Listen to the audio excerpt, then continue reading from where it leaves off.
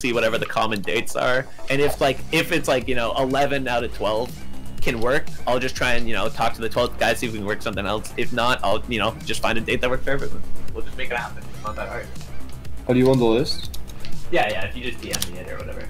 Uh, you got it. Literally. Bet.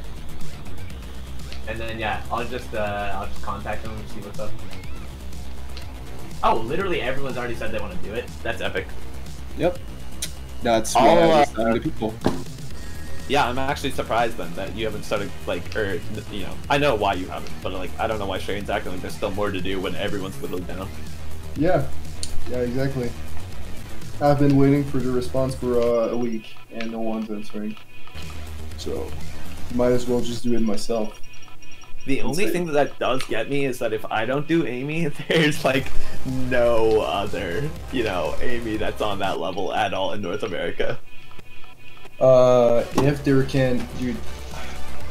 Like, if I PB, I could probably be around the same level as Chris, but I don't want to actually. Well, um, Yeah, I, I've been like- Oh, fucking swag, dude!